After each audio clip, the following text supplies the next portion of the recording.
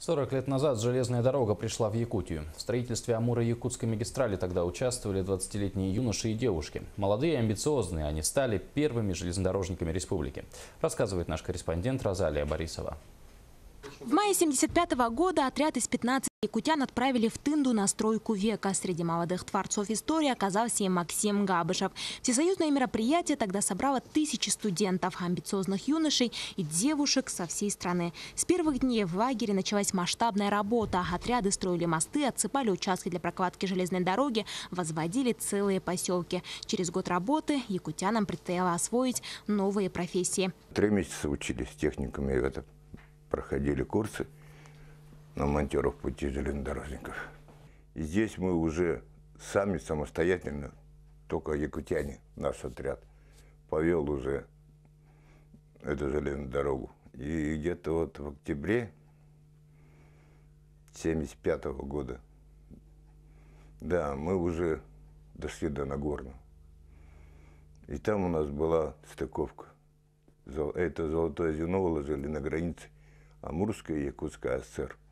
Бойцы отряда «Якутский комсомолец» стали первыми железнодорожниками республики. Участники строительства Амура Якутской магистрали, как тогда его еще называли Малого Бама, жили в палатках, ночевали в глухой тайге. Но все это не шло ни в какое сравнение с духом молодежных поселков, где витала романтика, где люди находили друг друга и создавались целые семьи. Вот когда мы на БАМ только поехали в мае месяце, вот в 74 году, сразу где-то через две недели свадьбы там ну, не мы играли, а там молдаване, молдавский отряд был. Там дом еще не построенный был, просто настил был такой. Мы на этом настиле столы сколотили и свадьбу гуляли. Это уже начало. Вот после этого и пошло. Почти что каждую неделю так.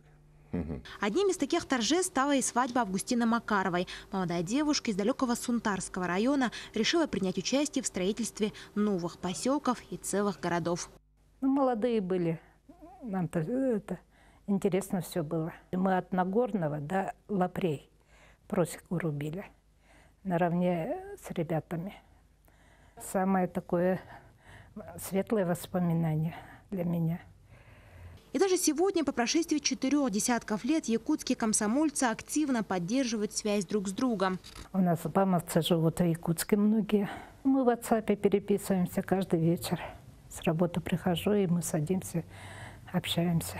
И в преддверии юбилея 40-летия с момента прихода железной дороги в Якутию все бамовцы ждут встречи друг с другом. Но помимо этого у каждого есть одно заветное желание. Ну вот хочу поехать по той дороге, которой мы пришли. Ну уже не пешком, а на, железнодорожном вагоне.